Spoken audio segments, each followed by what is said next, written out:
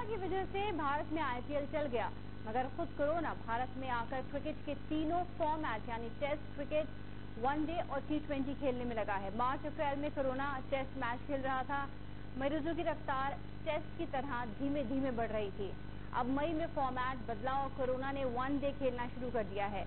मरीजों की रफ्तार भी वनडे की तरह तेज़ी से बढ़ रही है। लेकिन अब खबर है कि जून और जुलाई में, यानी कि मानसून के दौरान कोरोना भारत में टी ट्वेंटी की तरह खेलने जा रहा है। तो अब अंदाज़ा लगाइए कि मरीजों के बढ़ने का औसत उस दौरान क्या होगा और क्या हो सकता है।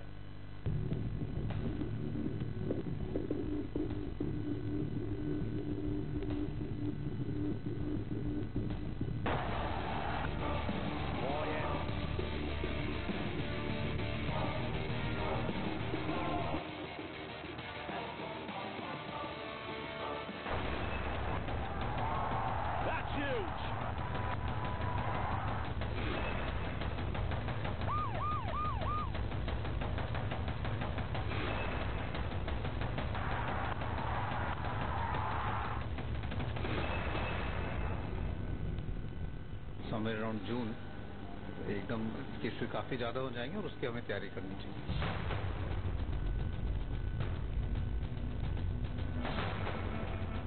क्रिकेट की ज़ुबान में कहें तो अप्रैल के आखिर तक भारत में कोरोना टेस्ट मैच खेल रहा था।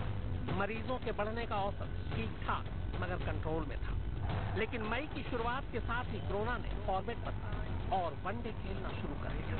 मरीजों की औसत अब उसी रफ्तार से बढ़नी शुरू हो गई। बात फ़िक्र की है, लेकिन अंदाज़ा पहले से था कि मई में मरीजों के बढ़ने की तादाद तेज़ी से भागेगी, और वही हो रहा है। लेकिन असली खतरा और फ़िक्र तो जून, जुलाई को लेकर है क्योंकि तब कोरोना के मरीजों की रफ्तार टी ट्वेंटी के औसत की तरह भागेगी।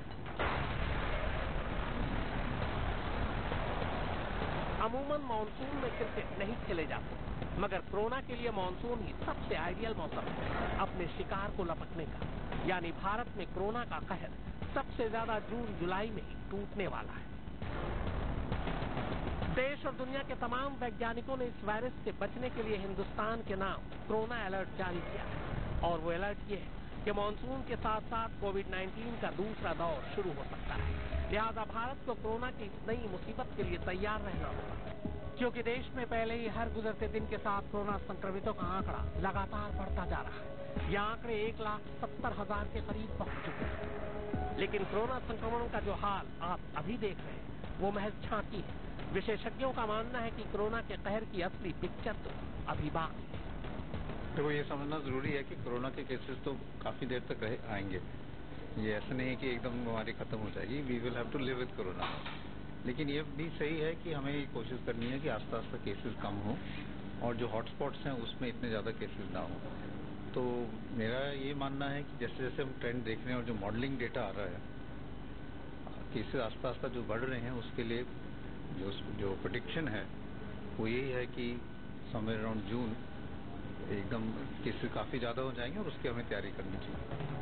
देश को घरों में कैद हुए दो महीने से ज़्यादा हो चुके हैं। मगर सच कहें तो कोरोना वायरस की रफ्तार कम होने की बजाय अब और तेज़ी से बढ़ रही है। इससे बड़ा खतरा कोरोना का ये वायरस मानसून के दौरान दिखाएगा क्योंकि बात सभी जानते हैं कि बारिश के मौसम में इन्फेक्शन यानी संक्रमण तेज़ी से फैलता है।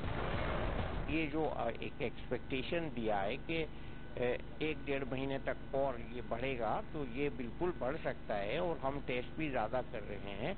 और टेस्ट जो नहीं कर रहे हैं, वो डिटेक्ट अगर होंगे पॉजिटिव तो कहाँ होंगे? वो तो यही बात है ना कि एसिम्टोमेटिक पेशेंट्स हैं वो एसिम्टोमेटिक कैरियर्स हैं वो, और वो खुद से भी नहीं सफ़र कर रहे हैं। मेरे नज़दीक ज़्यादा चिंता का विषय वो लोग हैं जिनको ओल्ड एज है डायबिटिक हैं हाइपरटेंशन है लंग डिज़ीज़ है हार्ट डिज़ीज़ है कैंसर है, और जो लोग किसी वजह से स्टीरोइड्स पर हैं, वो लोग के वो हैं और उन्हीं में डेथ ज़्यादा हो रहा है। यानी इतना तो साफ़ है कि मानसून के दौरान देश को कोरोना के इस कहर के सामने एक एक कदम फूक फूक कर रखना होगा। वरना कोरोना का ये मीटर कहाँ जाकर रुकेगा, कोई नहीं बता सकता। डॉक्टरों और वैज्ञानिकों के मुताबिक कोरोना का ये वायरस मानसून के दौरान देश में क्या कोहराम मचाएगा, ये इस बात से तय होगा कि सरकार और समाज इसे कितनी संजीदगी से लेते हैं। अभी जो स्पॉट आ रहा है केसेस का, हमारा जो डबलिंग टाइम है वो 11 12 से अब 11 की तरफ़ आ रहा है। लेकिन अगर न्यू केसेस का डबलिंग टाइम लूँ तो वो सात दिन का आ रहा है। और ये जो केसेस हैं, ये छह दिन पुराने हैं। तो अभी जो नंबर ऑफ़ केसेस बढ़ रहे हैं, ये लॉकडाउन खुलने के बाद में, रियायत के बाद में नहीं आ रहे। उसके केसेस तो पाँच दिन के बाद आएँगे। सो मेरे को डेफिनेटली कंसर्न है इस वक्त में जो स्पॉट आया है। इसका मतलब है कि लॉकडाउन के आखिरी में लोगों ने चीटिंग करी है। कोरोना के टेस्ट और वनडे की रफ्तार को समझने के लिए बस इन आंकड़ों पर नज़र भर डाल दीजिए टी ट्वेंटी आप खुद समझ जाएँगे। 25 अप्रैल को भारत में कोरोना के कुल मामले लगभग पच्चीस हज़ार थे।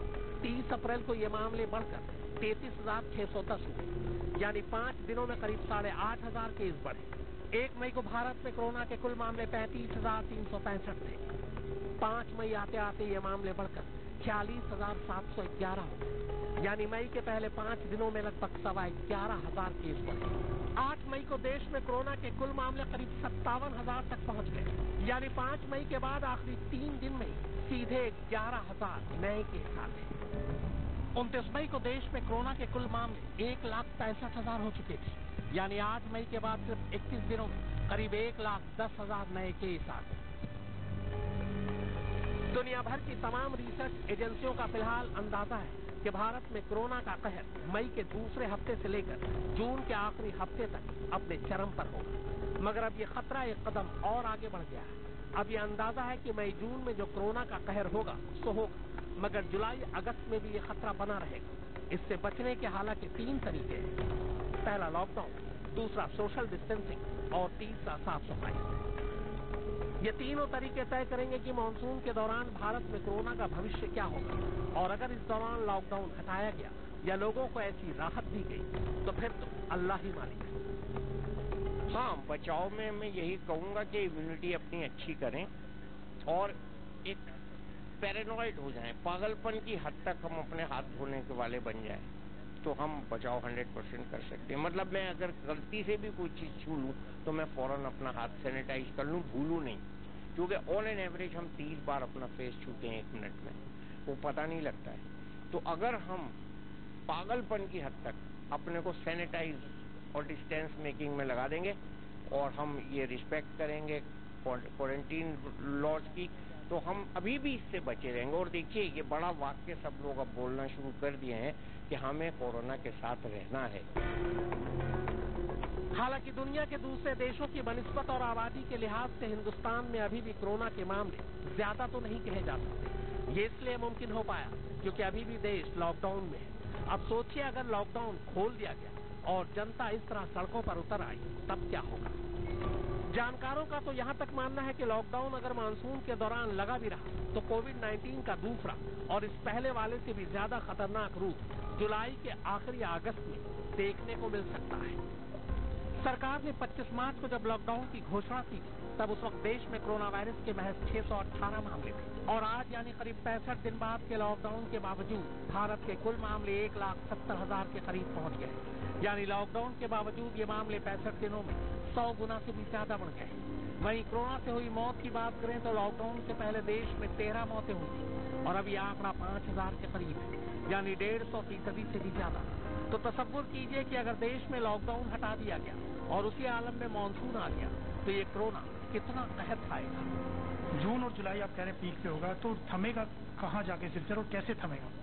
तो अगर आप सारा ग्लोबल डेटा देखें तो एक दफ़ा जब पीक होता है तो उसके बाद आस्ता आस्ता प्लेटू होके केसेस कम होने लगते हैं। न्यूयॉर्क में भी अब कम हो गए हैं इटली स्पेन में भी कम होने लगे।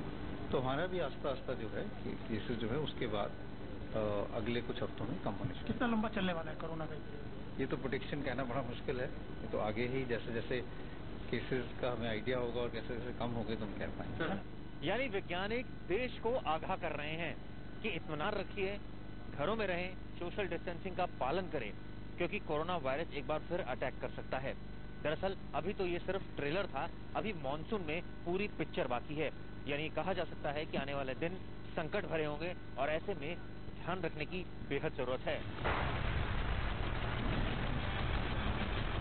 चिराग कोटी और फारूक माब हैदर के साथ शम्स ताहर खान।